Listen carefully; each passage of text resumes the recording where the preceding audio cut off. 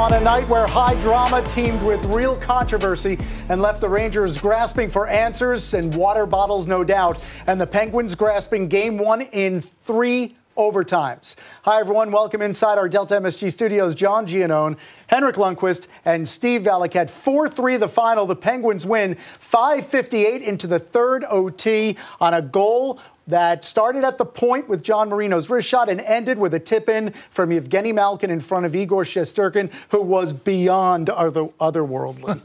you know, for the folks that were tuned in five hours ago, uh, you would have seen a first period where the Rangers just dominated. And, you know, it's, it's hard to fathom that did Pittsburgh really wake up, or did the Rangers struggle with the paralyzed feeling of maybe overachieving and then embracing that and then not being able to turn it over and have a really solid second period. Uh, that's where the game really got wonky. And it looked to me like the Rangers had full control and then lost control completely.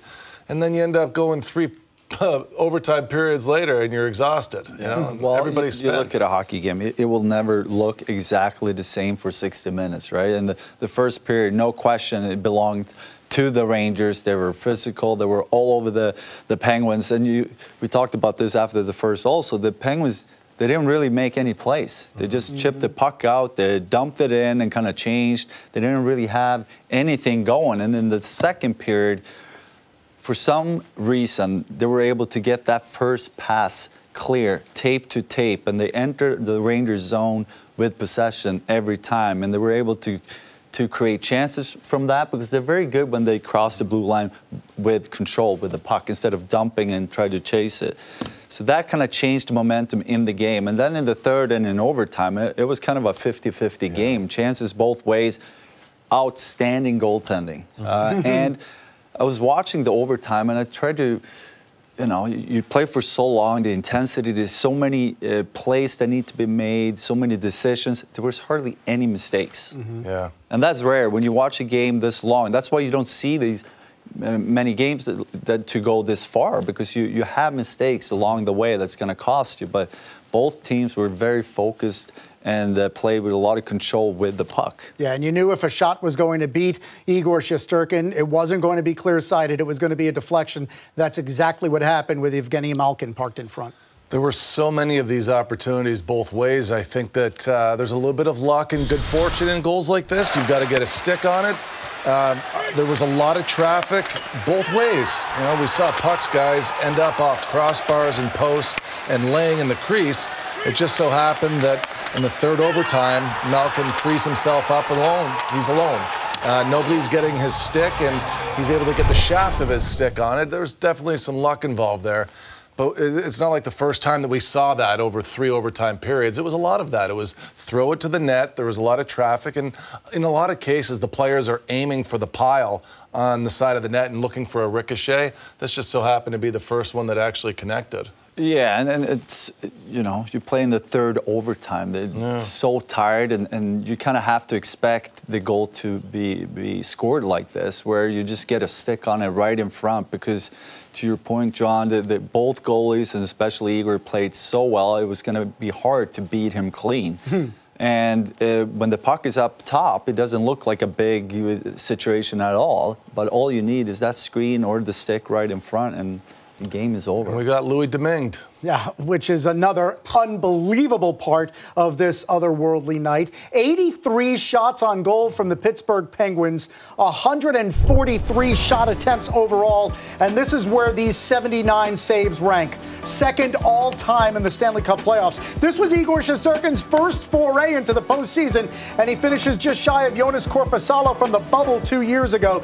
Igor Shesterkin made 79 saves tonight, but ultimately it goes down as a 4 3 loss in triple overtime to the Pittsburgh Penguins. And eh, I mean, what else can you say about Igor Shesterkin that that number alone doesn't tell you 79 saves? It's just the chance to win, right? I mean, like that's it was his mindset was I'm going to keep this as close as I can for as long as I can, and I'm going to let the guys try and decide it because he knows he can't get out there and help them score, but he can prevent Pittsburgh over and over again to just lengthen the game a little bit longer and give your team the opportunity. I'm sure that he got a big boost of confidence, too, when Casey DeSmith left the game.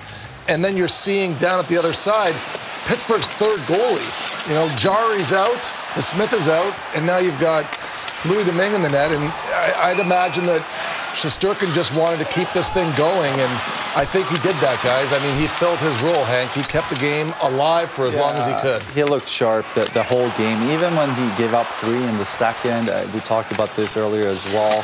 His strength of, of just stay um, in the right place mentally, not to overreact to it, and he looked very relaxed, even though Pittsburgh were coming at him really hard, a lot of different chances in the second period. And the key for a goalie, really, when, when you know you get scored on, is really to try to move on. And I think he showed that all year long how he's able to to come back and, and, and come up with the next big save. Mm-hmm. He doesn't let any goals bother him. And you know, he, he kind of turned it around there, and, and, and the Rangers scored the third goal and changed the momentum again in the game. Uh, but he is very strong mentally. Had an outstanding performance, first playoff game. So I want to say congrats because it, hmm. it, was such a performance by him, and, and he should be proud the, the, way he played. He'll need to use that mental strength because in about, what, 43 hours we have game two. How does a goalie who just experienced that possibly overcome it and be ready for Thursday night? Well, you know the, the guys are used to play every every other day. You just have to move on. Tomorrow, yeah, you, everybody's going to be tired. Th- the question is, do they even go on the ice? Maybe they have a meeting, maybe do a light skate on Thursday, but you just have to yeah. move on, and you you understand the importance of maybe get a little bit feedback from this game. What can we do better? What do we need to improve to to beat Pittsburgh on Thursday? It's going to be a big game for the Rangers, obviously to not uh, fall in a big hole here. But because um, the pressure's on them now, right? Because Pittsburgh, all they wanted to accomplish was to come into New York and get a split, and they got that. And now you're really starting to feel the pressure already of the series building for you. You know, and again, this is Igor Shesterkin's first battle in the playoffs, and I'm sure that he feels a lot of responsibility to get the next game, which is Thursday. I mean, turn it over and get a win.